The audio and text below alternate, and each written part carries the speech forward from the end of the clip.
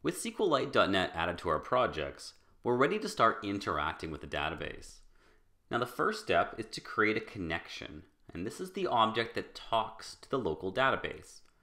SQLite.net establishes a connection through the SQLite connection object. And when created, you must pass in the file name for the database. This will open an existing database or create a new one if it isn't present and you must pass in a fully qualified file name, and that path must be writable unless you tell SQLite.net the database is going to be read-only. And we'll talk about how to do that in just a moment. Now, if an invalid path is passed in, such as string.empty, an exception will be thrown. Now, each platform has a unique place where you typically store a database. On Android, the file should be placed in the database folder, on iOS, files will be placed in the library folder or possibly a subdirectory. And on Windows Phone, the database would go into the local folder, and that can be reached by using applicationdata.current.localfolder.path.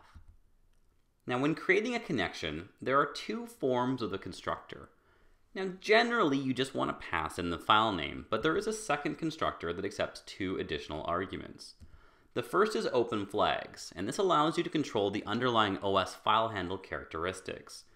For example, you can use it to set your database to read only, and this would potentially improve performance. The second is store date time as ticks, and this decides how date time objects are persisted to the table. And you would really only set this to false if you needed the columns in the database to be human readable. Generally, it's preferred to leave them as ticks. Now let's talk about what we need to do as developers to map our classes to tables. We would first define our class in C Sharp, and a table can be created based on the shape of that class through SQLite.net. So we do a code first approach. Let's use this person model object as an example. What we would like is a table with columns for the ID and the name. And the database schema gets defined through attributes that we apply to the class and the public properties. We see the table attribute, and this maps our class to a SQLite table, and we use attributes to map properties to columns. As well, these attributes can be used to place constraints or restrictions on the data being stored. For example, we can enforce uniqueness or limit length. And SQLite.net includes several attributes to fully define the mapping between an object and the table. We saw table already. This indicates that our class is going to be mapped to an underlying SQLite table, and the name parameter here is required. Column indicates that a property is mapped to a column in the table, and again, the name parameter is also required. Primary key is what indicates that a property is to be used as that primary key. And this is almost always an integer, but that is not a hard requirement. Auto increment will cause an integer's value to be automatically increased when a new object is inserted into the database. Index creates an index on the column with the underlying SQLite table.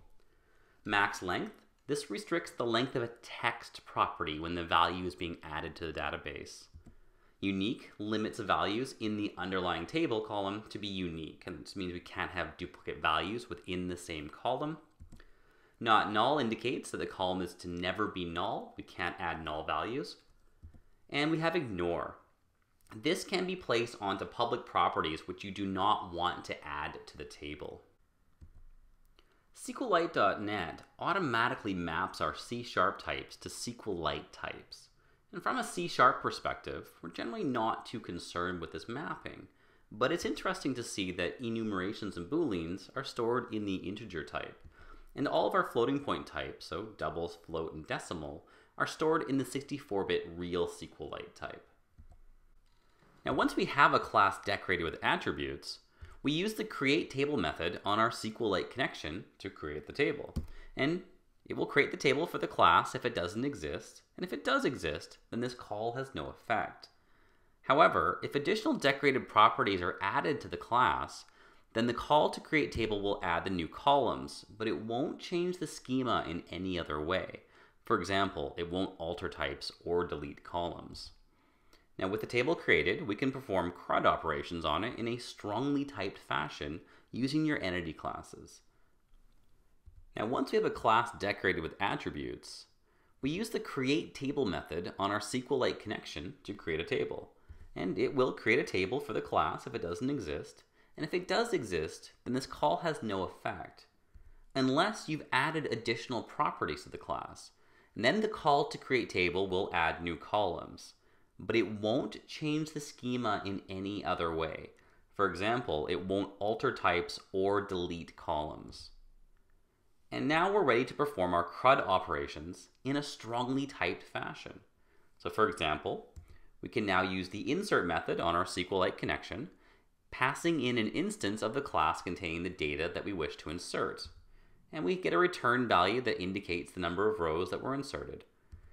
And keep in mind, the class that represents the table must have a primary key defined.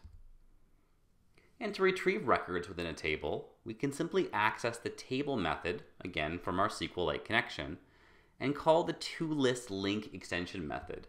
This will execute the query and return the results, and behind the scenes, SQLite.net retrieves the list of records from the underlying table and converts the results to an object based on the attribute mappings.